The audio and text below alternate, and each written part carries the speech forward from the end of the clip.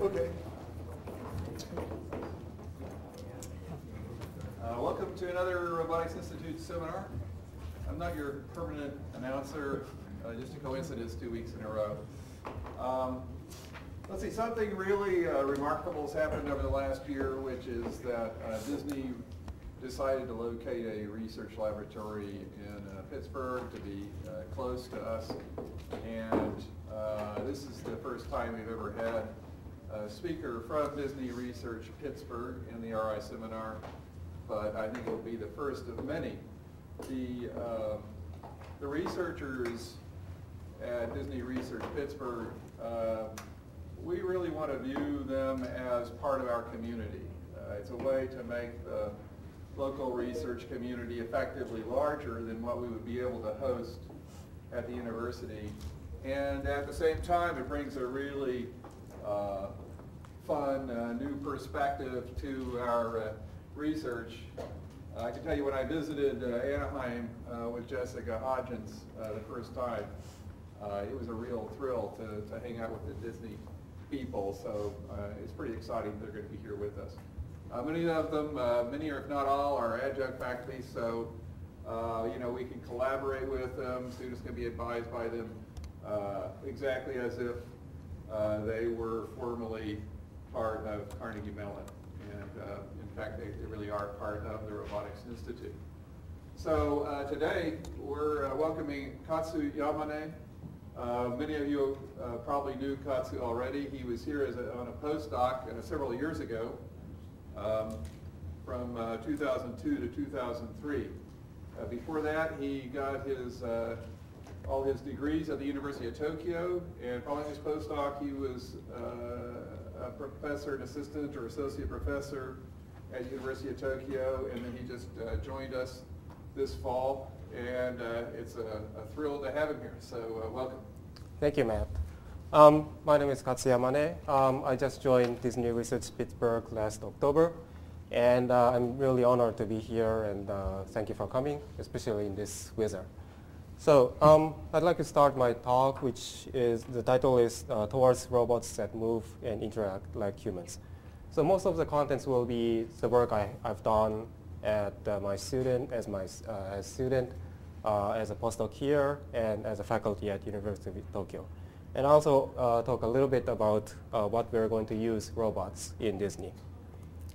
So a little bit of my background. So um, as Matt introduced, I got a degree at University of Tokyo. Um, then I came here as a postdoc uh, for one year. I, I, worked with Jessica Hodgins on using motion capture data for graphics um, and uh, humanoid robots. And then I uh, went back to University of Tokyo as a faculty member, and uh, there I started to work on uh, modeling human and understanding how human control the body. And um, finally, I came to came back again to Pittsburgh as a uh, researcher at Disney Research Pittsburgh. Okay, so um, this is uh, just um, a map of my research areas. So I work in the uh, intersection of robotics, uh, graphics, and biomechanics.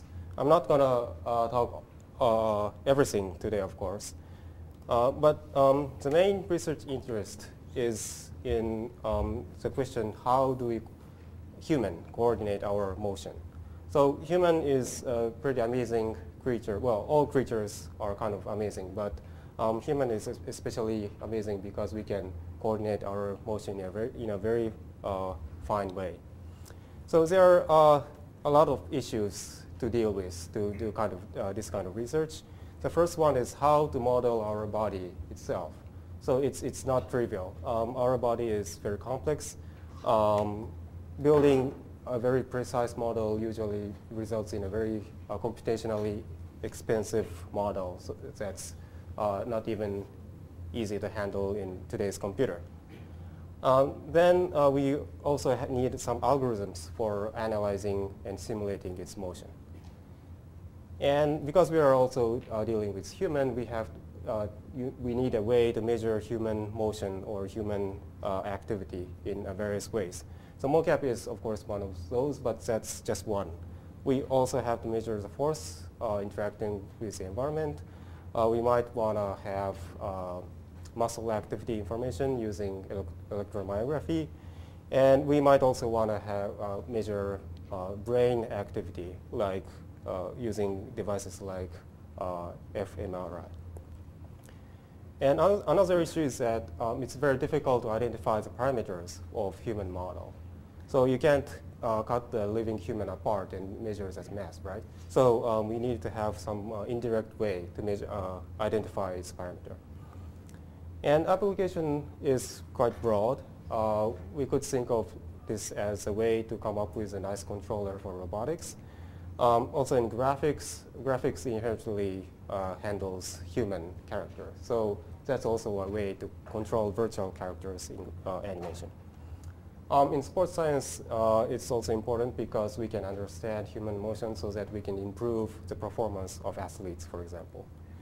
And in, medical science, there are a lot of uh, diseases that causes problems in motion coordination. So we could uh, develop some nice ways to rehab for rehabilitation or um, um, taking care of that kind of diseases.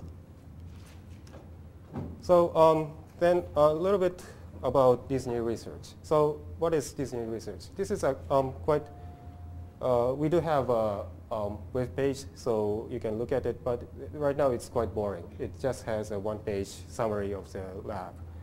Uh, re Disney Research is really an informal group of uh, research labs uh, throughout the Walt Disney Company. So it includes various um, labs uh, from um, all uh, business units of uh, Disney Company. And it includes, of course, Disney Research Pittsburgh. We have another similar la lab in Zurich. And also, of course, uh, Walt Disney Imagineering has been a main part of Disney doing research and development. And, and there are al also other uh, groups in animation, for example. Um, Disney Research Pittsburgh uh, just started last year. Uh, director is, of course, Jessica Hodgins, uh, all of you know. And uh, we currently have two senior research scientists. One, uh, I'm one of them, and one postdoc. And we have other administrative coordinator. And we also have a visiting professor from Georgia Tech and two interns, two of his students as interns. We are um, trying to have seven to eight senior research scientists in the end. Um, so the uh, areas covered will be quite broad. Uh, I'm working on robotics. One of the uh, research scientists is working on animation, especially in face animation. Um, the uh, visiting professor from Georgia Tech is working on sport visualization for ESPN. Um, there will be some people for uh, interfaces, machine learning, and also some wireless technologies. And the location is just, a, just across Forbes. So you can um, come by, stop by anytime you want. So um, when I decided to leave Tokyo and join Disney Research, uh, I was asked why Disney uh, a lot of times. So um, I want to explain that here. Um, so the re main reason is that um, probably Disney owns largest number of humanoid robots uh, among all companies which are directly used in their business. So there are a lot of uh, companies now that use robots for like advertisements or uh, just for promotion. But uh, the robots in Disney is uh, directly related to the business in the parks, for example. Um, the other thing is that human shape is requ required for a robot. So there is a long debate in robotics that if a robot has to be human shape. And uh, the point of not having human shape is that it's much more efficient if you design a robot tailored for a specific task. The point for having human shape is that the, our environment here is mostly built for human shape. So that would be uh, uh, enable uh, robots for general purpose. So there is a long debate, and I think it, it's, it's not, um, it hasn't come to a conclusion yet. But for Disney, uh, robots has to be human shape. We don't want to see wheeled Mickey Mouse or anything like that, right? So um, the robots here has to be human shape, so that's exciting. We don't have the debate. Um, so, and the other thing is that we have uh, various environments to test our ro- robots, from very controlled environment like in um, rides or shows, or to very um, complex environment like outdoor in the parks. So we can have, choose any of those environments to test our robots. And um, another exciting uh, aspect of Disney is that it has a lot, a lot of different business units. Um, so, so that will allow um, other possible collaborations uh, in various areas. So like animation, we also, uh, of course, have Disney Animation and Pixar. Uh, game, um, AMD is a game company uh, which uh, frequently use motion capture. Um, there is also a division for consumer products and uh, toys right now. There are a lot of robots as toys right now, so there is also some possibilities there. And as, as I said, uh, there is a uh, great demand in uh, sport visualization through ESPN, and uh, Disney also owns ABC. And um, of course, great RI, Robotics Institute is here, so um, I was very thrilled uh, when Disney was uh, trying to collaborate with Robotics Institute here. Okay, so um, I'm gonna talk uh, basically about these three uh, topics. So the first one is uh, nothing related to human motion, but um, I spent a pretty long time developing some efficient numerical tools for graphics and robots. So I'll first talk about that. And then um, uh, I'll talk a little bit about uh, adapting human motion. In this case, I just took motion capture data as a reference and try to use that data to uh, generate uh, motions for characters and robots. And uh, finally, I will under, uh, talk about our uh, model, model, human model and simulation tool, which is, will be used for uh, understanding human motion control. So I'll start from uh, efficient num numerical tools. Um, so this is a kind of, um, so this axis is the number of bodies in an articulated uh, body, so uh, basically a robot. So um, 20 or 30 years ago, most of the uh, robots had only a few degrees of freedom. So um, it was hard for that, the computers that time, but it's fairly easy to compute the dynamics of this kind of robot now. And uh, humanoid robots has uh, typically has 20 or 30 degrees of freedom, uh, which is uh, used to be quite hard 10 years ago, but now it's pretty simple, easy to compute very fast. And then uh, there comes the human mo model. So if you only consider the skeleton, it will have 100 or 200 degrees of freedom. And uh, this will be a little bit computationally uh, demanding. And if, if, we also consider the muscles as well, the number goes to almost to uh, 1,000. And this will be uh, quite difficult to handle. And above that, we uh, still have some very complex systems like molecules where we might have millions of um, bodies in the system. So um, there is a long way to go. So I worked on uh, a couple of projects to develop humanoid simulators with uh, which is a national research institute in Japan. And um, we actually uh, developed a software called OpenHRP. And uh, OpenHRP uh, version 3 is the latest version, and this is actually open source. You can, so you can go to this website and download uh, the source code for free. So um, when we want to simulate humanoid motions, there are uh, several different requirements for the simulator. So it has, of course, have to um, handle articulated rigid bodies rather than just having independent rigid bodies flying around.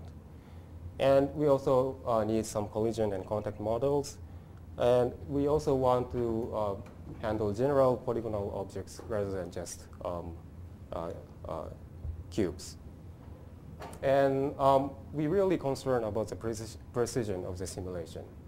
Um, it, of course, it has to be visually plausible, but not only that, uh, the results should also be pre uh, physically precise.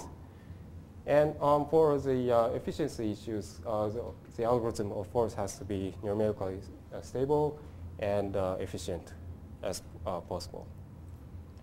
So, um, so this is almost the fir first research work I did when I was a PhD student. So in this case, I um, focused on how to handle the change of chain, kinematic chain, while the uh, humanoid release or grasp some objects. So uh, you can see that the robot can uh, release the bar and eventually fall down. So this simulation can be done um, very interactively, so you can just specify the time of release.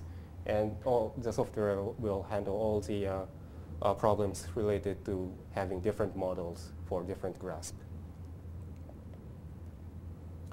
Um, so, but the problem was that the, uh, the algorithm was not quite scalable. So it required a square of number of uh, joints to compute the whole simulation. So um, to deal with that problem, one way is to decrease the complexity. So there are a lot of algorithms that can compute the forward dynamics in linear time, linear to the number of joints. And the other way is to employ parallel processing. So by that way, we can uh, reduce the complexity uh, to log n of the uh, number of uh, joints. So um, we also developed a new our original algorithm for that. So this can handle any open or closed kinematic chains. Uh, this can compute it in parallel. And we also have a way to schedule the parallel processing automatically.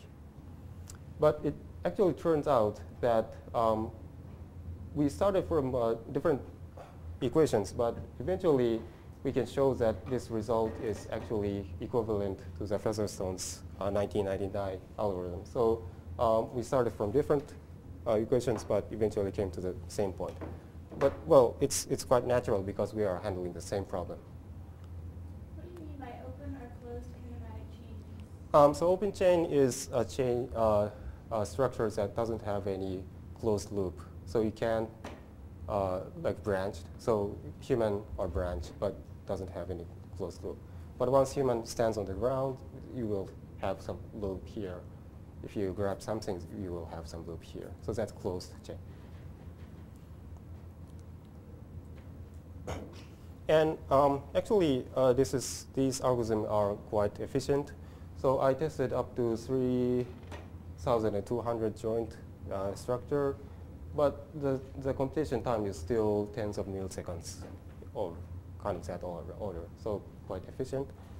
And uh, our algorithm can handle closed chain, as I said, and also can be computed in parallel. and if I apply this to uh, human models, it's also uh, quite fast. So even for this uh, very complex uh, human model with 161 degrees of freedom, the computation time, if we have uh, four cores. Um, no, in this case, yeah, four cores. The computation time is much uh, shorter than one millisecond. So this is this can compute it quite in, uh, quite in real time. And then um, I then look at looked at uh, collision and contact models. So there are uh, different uh, uh, basically three different approaches for collision and contact models. So the uh, very easy one is spring damper model or penalty-based model. So uh, you can assume some spring and damper at the contact point and assume that those spring and damper uh, exerts contact force to push the object back to the air. Um, this is quite easy to implement, but uh, if you have experience in this kind of simulation, you will spend a lot of time tuning the spring and damper parameters. So it's, it's quite hard to get um, uh, good results for uh, all simulation scenarios. The other way is, to uh, is a uh, rigid body model or constraint-based model. So this uh, model uh, explicitly says that the object should stay on the, um, on the other object and computes the force required to maintain that constraint. And this is uh, relatively pre- precise in theory and also numerically stable in theory. But um, if you uh, use any uh, free libraries that are hanging around, uh, you will find that um, very few existing libraries actually work for humanoid robots with general uh, shape and uh, in 3D and that kind of uh, very complex uh, scene. So the implementation is very difficult. Uh, the last one is impulse-based model, uh, which is also numerical stable. But um, so this handles collision and contacts as a uh, uh, uh, sequential collision, small collisions. So um, it's not quite good for uh, continuous contact, like just standing on the ground. So um, so, so we had to develop some new algorithm for contact handling. So we first decided to take this rigid body model. So in rigid body model, the uh, constraints are usually expressed as a linear compl- complementarity problem, or LCP. So uh, the, this constraint is that uh, the velocity and force should lie on, on this uh, line. So if the velocity is uh, positive, meaning that the, this ball is going upwards, so uh, going apart of this floor, then the force should be zero. And if the velocity is zero, meaning that the ball is staying on the floor, then there must be some positive force. So uh, there is uh, this kind of constraint uh, for the contact problem. The problem is that uh, how to find a solution on this line. So um, there are a couple of approaches for solving LCP. And as I said, um, it's, it's actually quite hard to implement those algorithms. So uh, we had to come up with a new uh, algorithm to uh, solve LCPs. And it's actually uh, um, extension or improvement of classical algorithm for uh, solving, solving LCP.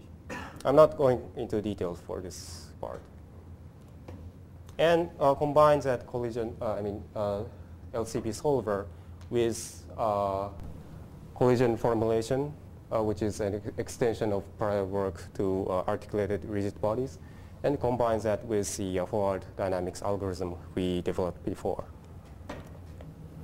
So um, this is just an example of simulation. Um, this is a small humanoid robot developed in our group at Tokyo. And um, this is actually playing tap dancing. I don't have the music here, unfortunately, but uh, uh, you can imagine any kind of music here. And here are some stats for that simulation. So as you can see, our algorithm doesn't fail at all. And also, um, interestingly, the uh, time for solving LCP itself is uh, half of uh, standard algorithm. And um, this is actually a comparison with experiment. So this is a, the same simulation uh, as before, and this is the uh, uh, replay of that uh, this reference motion on a real humanoid robot. So as you can see, um, I think most of the uh, macroscopic motion is cap, uh, realized in this simulation as well, like the rotation around the yaw axis. Yes. Do you also have friction in this model? Mm-hmm. And the friction is nonlinear? Um, it's it's a um, Coulomb friction, but it, it, um, well uh, the uh, the difference is that it can only uh, consider one fric- friction coefficient. So a little bit um, uh, a little bit of uh, simplified version of Coulomb friction.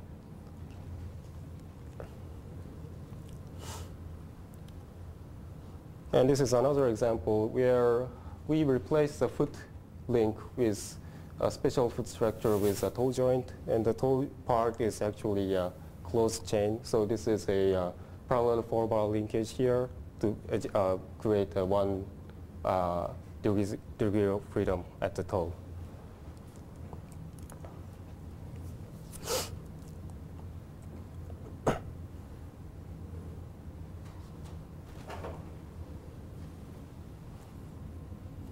Okay.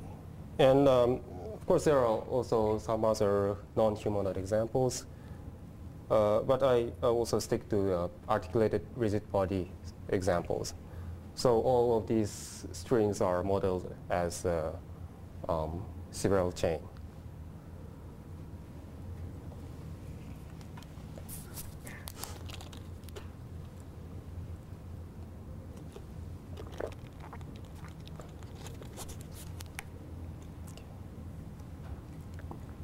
Okay, um, that was a dynamic simulation, uh, mainly for humanoids. And um, this is a work for uh, graphics, actually. Uh, I worked with Sega to develop some um, intuitive tool for generating um, animations.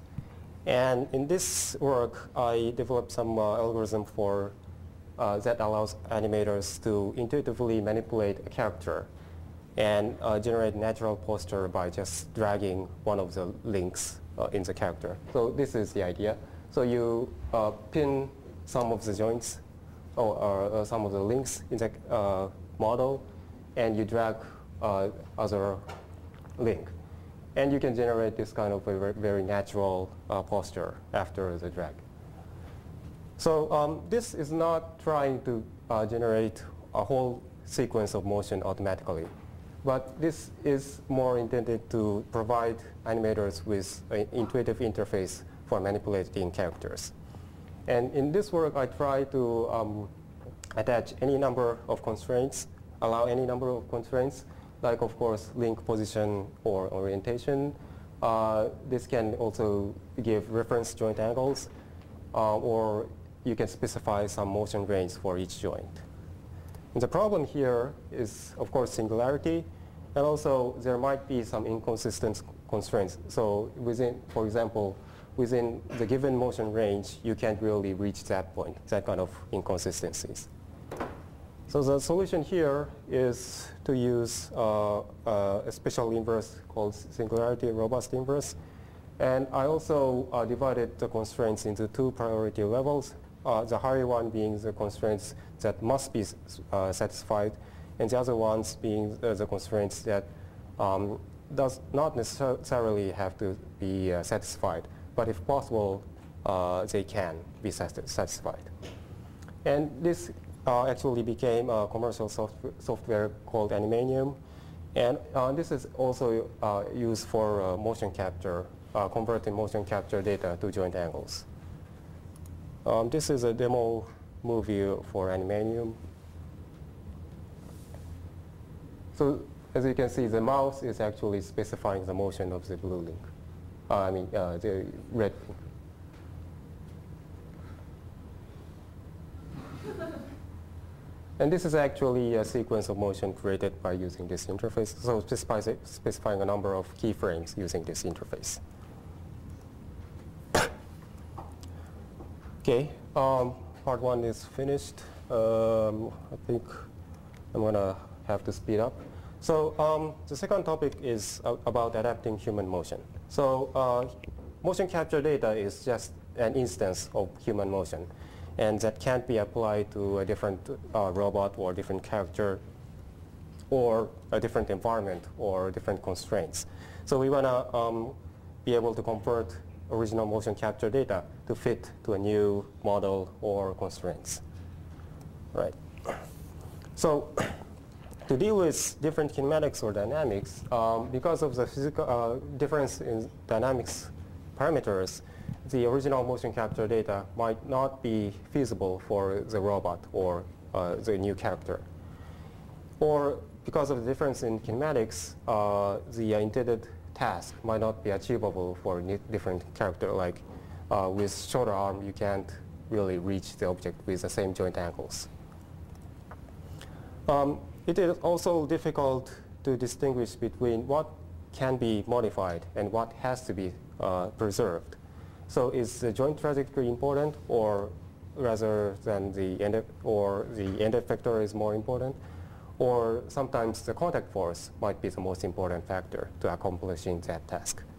And this is usually uh, task dependent, so uh, usually designer has to decide what has to be uh, preserved and what can be modified. And um, some other interesting uh, problem is that human is very good at adapt adapting other person's motion to uh, own body, right? Um, so we can observe other person's motion and um, instantly adapt that motion to uh, the body itself. So um, sometimes it does require practice, but once acquired, uh, it's, it's quite ro robust. We can apply that to a very different environment or different constraints. So um, this is a very interesting problem and has been uh, studied in both robotics and graphics. And uh, usually this is formulated as some kind of optimiz optimization problem eventually. For the synthesis, synthesis part, there are work on uh, mathematical optimization. Uh, some uh, people, including Chris Atkeson here, uh, tries to learn emotion motion using real hardware. And there is also, also analysis side. So take a bunch of human motion and uh, analyze where we, they can be stitched to make new sequence of motion. And of course, there are some work on studying human, uh, what is uh, happening in the human motor control. So I'm going to talk uh, briefly about three different adapta ad adaptation techniques I uh, worked on. So um, the first one is dynamic filter. Uh, this is already quite uh, old work, but um, in this case, uh, it does consider uh, full dynamics, but it can only handle slightly different kinematic, different model from the original motion capture subject. The second one is actually done here with James Kuffner and Jessica, um, is to synthesize new manipulation task out of very small database and this can handle very different environments and characters by using uh, inverse kinematics and planning algorithms.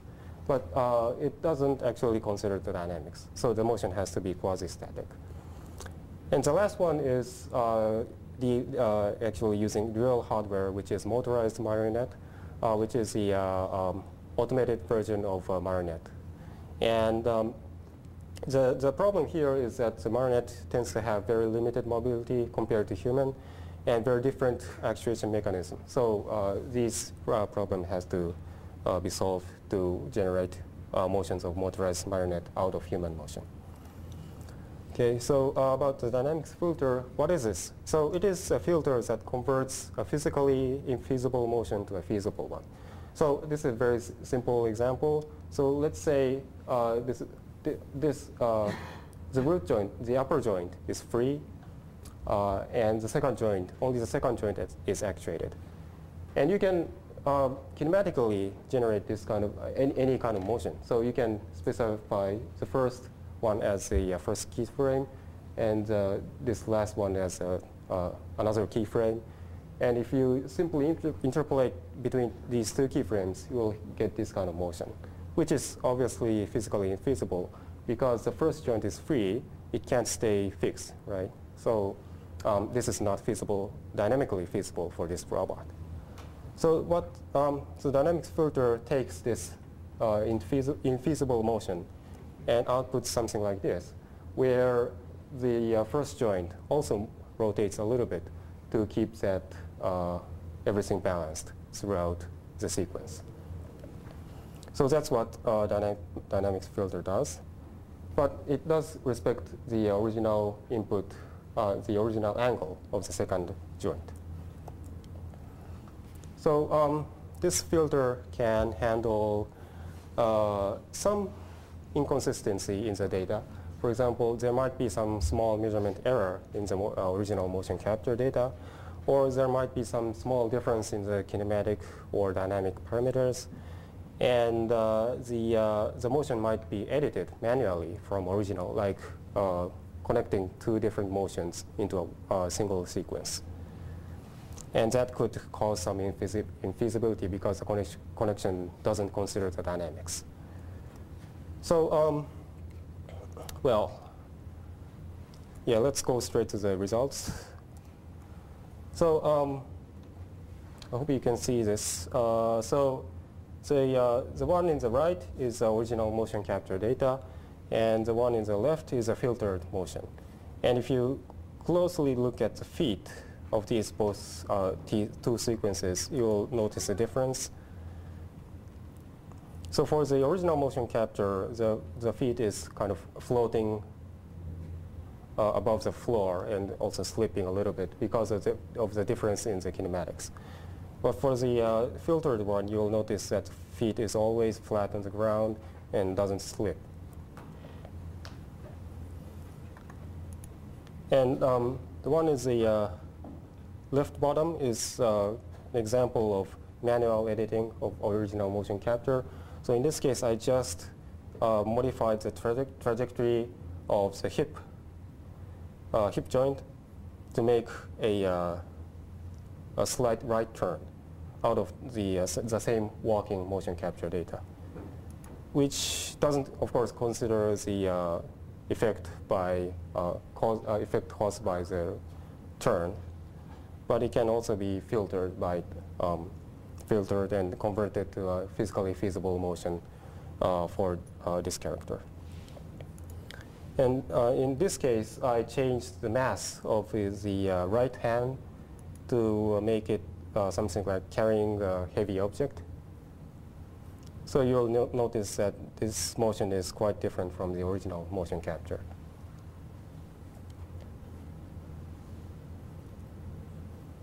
Okay. so um, the next one is synthesizing manipulation tasks. Um, so suppose we got this kind of uh, simple manipulation example for motion capture. And what we want to do is to apply this uh, example to a very different character like gorilla uh, and to a very different uh, environment or task. So um, here I applied motion planning algorithm and inverse kinematics to uh, deal with that kind of problem. And we, uh, the feature of our work is that it can be done with a very small data set. In this case, we only use four pick-and-place examples and generate a wide variety of uh, motions.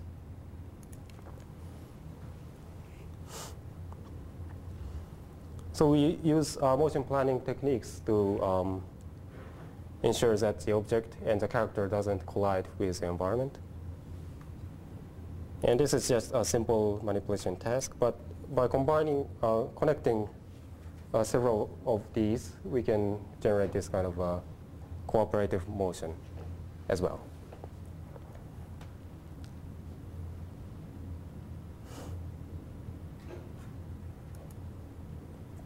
And um, so the idea of motion capture is that inverse kinematics doesn't always result in natural posture because it's a numerical method. It doesn't uh, take the uh, human uh, body character um, into account. So um, it can result in very unnatural uh, posture. But by using motion capture data, we can bias that, uh, uh, bias inverse kinematics towards more natural posture. And this is using that feature more in, in the sense that it tries to control the way the character uh, carries the object. So this, in this case, we use this kind of examples where the, uh, the subject is bending the uh, back. So you, you're not going to use this strategy for a heavy object, but it might be good for a lighter object. So this is a result uh, we got from this example. But if we change the example like this, where uh, the subject is bending the knee instead of the back,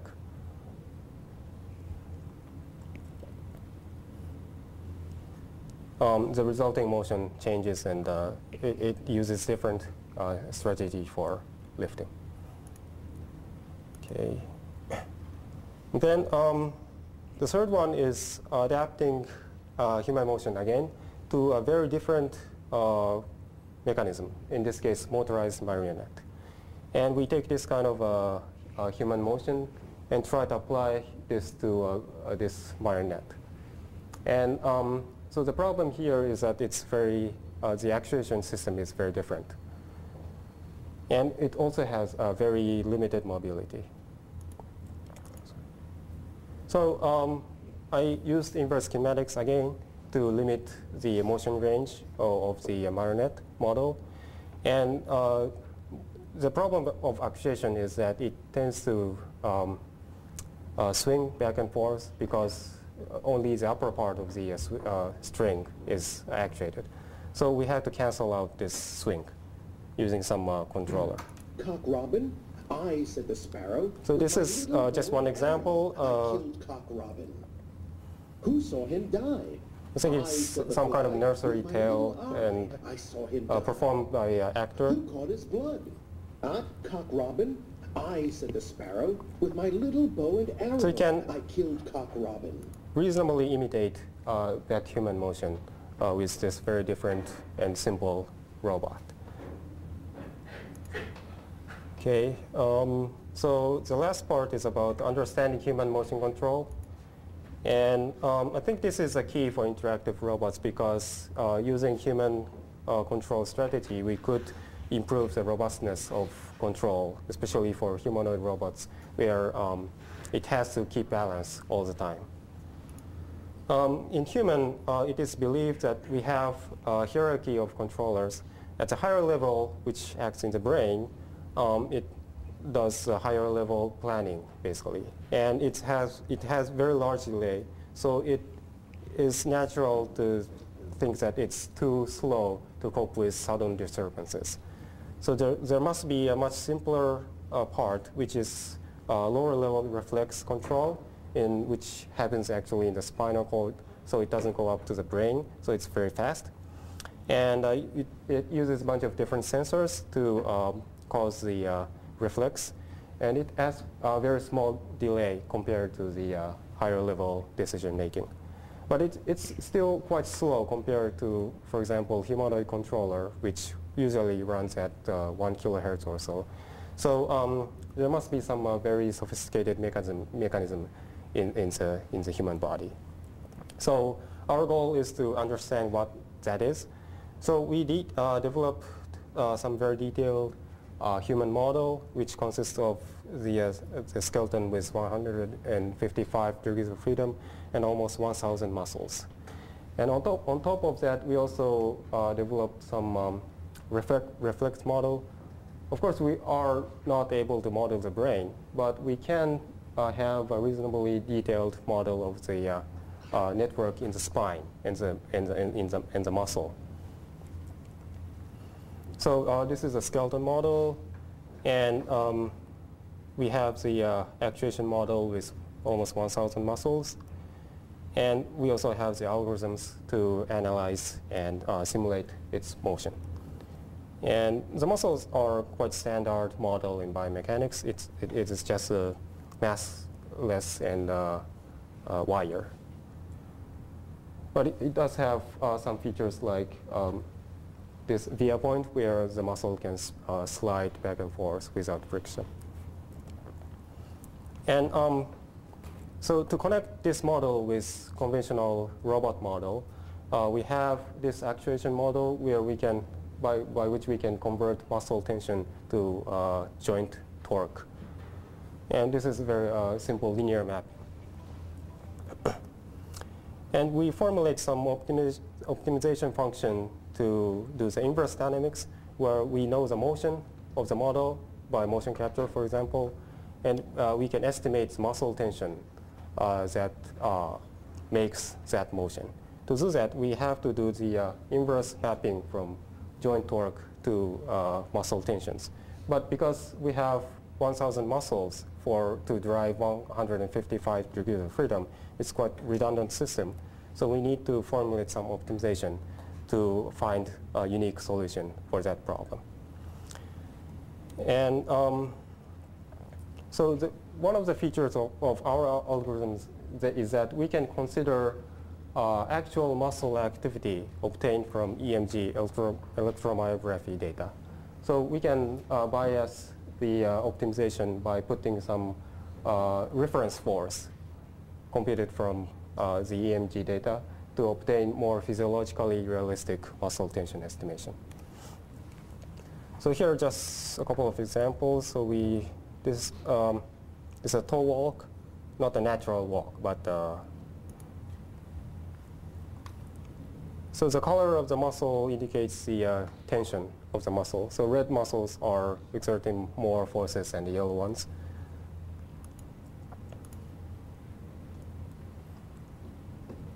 And the red arrow uh, from the floor is the uh, ground contact force. This is also estimated. Um, okay. So, um, so that's the mus musculoskeletal model, and we want to add some uh, uh, model of the uh, neuro um, neuromuscular network model. So, um, so inputs and outputs of this model are as, as follows. So um, the input is the uh, uh, command signal from the spine, which comes out of the spine and uh, goes down to the muscles. And uh, the model is supposed to output the muscle tensions to drive this uh, skeleton. And um, there are basically two uh, directions that signals go. So the one is from brain to the muscles, and the other one is muscles to muscles via the spine. So this is actually the reflex uh, loop. And um, so to build this model, we somehow have to estimate the signal coming from the brain, uh, coming uh, from root of the red arrow. But of course, it's impossible to actually insert some needle to the, your spine. So um, we have to estimate that. So the way we did this uh, this time was to use some statistical method to estimate the independent signals that cause the muscle tension signals. And it was quite interesting because, uh, so what this does is that it, it is basically a dimension re reaction. And actually, it turns out that 120 dimensional signal is enough to generate the 1,000 dimensional signal. I mean, uh, which is the muscle tension. So um, even with 120 dimension uh, signal, we can reconstruct the muscle tension with only 5% of error. And um, this actually happens to be uh, the number of branches coming out of the spine. So we, we decided to use this as a signal coming out of the spine. So we have estimated the signal coming from this side, which is input, and we already know the output, which is a muscle tension through inverse dynamics. So um, using this, you can uh, train that model. This is basically a neural network model. So uh, you can basically train the weights at each neurons. Um, so this shows actually a very interesting property where the uh, reflex loop actually, uh, the weight of the reflex loop um, actually is consistent with the function of the muscles. So in this case, um, these uh, muscles in the blue columns are uh, categorized as the agonist muscle, so work together with a muscle called iliacus. And um, actually the, the weight of the reflex loop are, are all positive. So this means that uh, input uh, from the iliacus uh, works in a positive uh, feedback to th those muscles. But on the other hand, the muscles uh, which are antagonist muscles, which works in the opposite direction, has negative um, uh, weights. So this means that acti activation that particular muscle prevents the activation of the muscles uh, that works on the opposite direction. So this is very consistent with the bio biological uh, findings. And uh, using this model, we can actually simulate uh, typical reflex. And in this case, we simulated the motion of patellar tendon reflex, which is a reflex you typically see when you hit uh, uh right below your knee. And this is caused by uh, extension of the muscle in your thigh. And, and your, your uh, foot usually pops up like this. And this can be also simulated using our model. Okay, um, so uh, to summarize, so I basically talked about three topics. The first one was efficient numerical tools. Uh, the second one was adapting human motion, in this case motion capture data, to real hardware and uh, virtual characters. And finally, I also talked about under, uh, our uh, model uh, developed to understand human motion control. So um, what's next? Uh, especially in terms of robotics in Disney. So um, right now I'm working on the humanoid robots, improving humanoid robots or animatronic figures in Disney term uh, in parks. And um, so we first want to improve the way we program those robots. So right now they are quite, um, their motion are quite hand, handcrafted. So uh, usually the designer sit in front of a real robot and uh, try to move one joint at a time to get some reasonably good looking motion. So um, first thing we can do is to provide a way to program this kind of robots using, for example, motion capture data. So um, anyone can uh, move in the mocap lab and uh, uh, provide data for that robot. Or we could use data from uh, 3D animation because we already have animation data for some of the robots, uh, I mean some of the characters. So we could use that data uh, to program a real robot as well.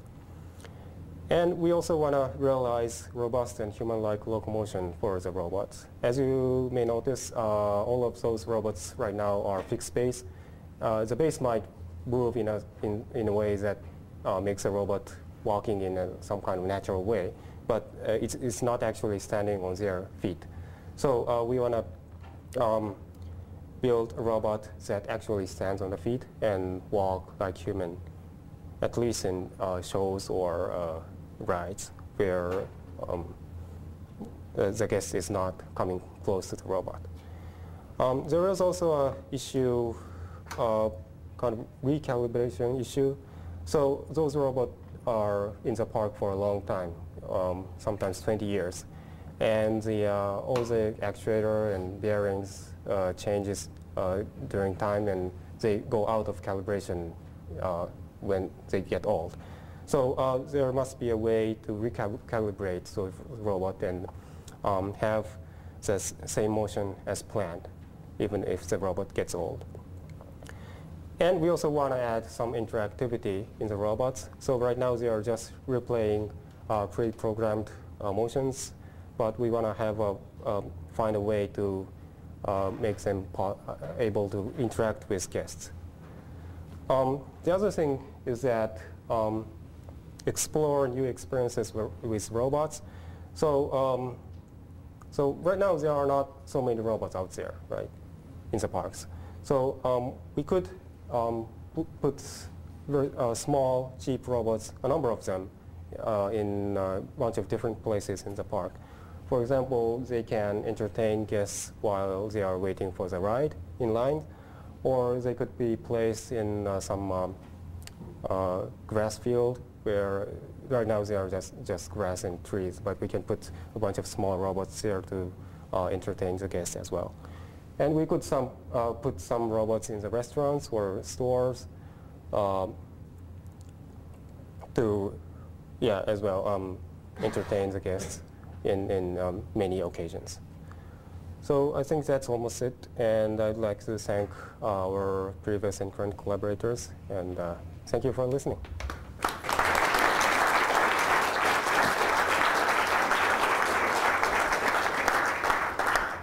Before we take questions, uh, I just wanted to pass along the word that there's a post-seminar reception today after the uh, presentation. Is that right? We're at five?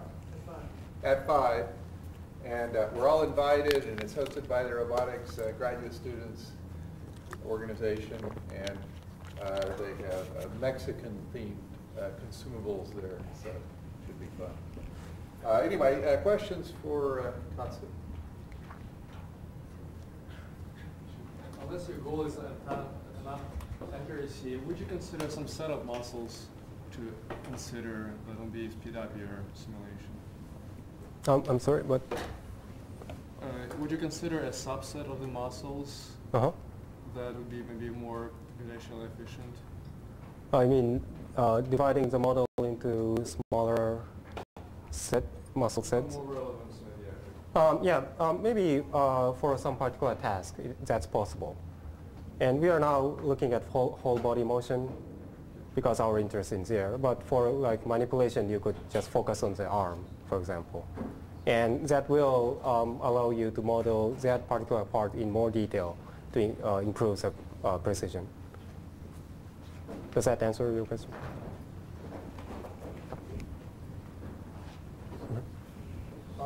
So when you're building your neuromuscular Mhm. uh, model.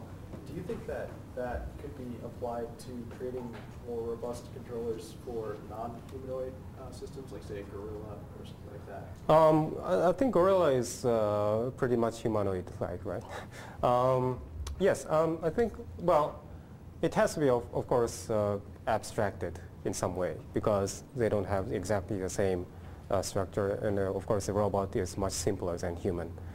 But I, I- believe there is a way to do that, and I, I think we can use this kind of knowledge to improve the robustness of a humanoid controller in general, yes.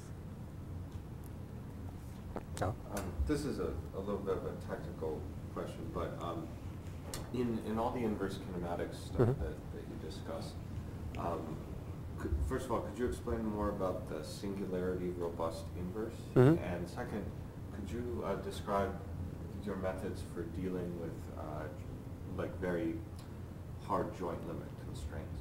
Okay. Um, so about the singularity robust inverse. So it's, it's basically an inverse um, uh, with some kind of damping. So basically you add k times identity matrix and takes the inverse so that it doesn't explode. Um, on the uh, joint limit, right now it's, it's just a soft limit. So when it approaches uh, the joint limit, it tries to exert some velocity in the op- opposite direction and put, add that as a soft constraint.